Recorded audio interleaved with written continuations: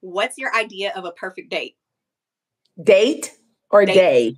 Date. Uh, Date, uh, one I don't have to pay for, plan, figure out. I just have to get dressed, show up, go and enjoy myself.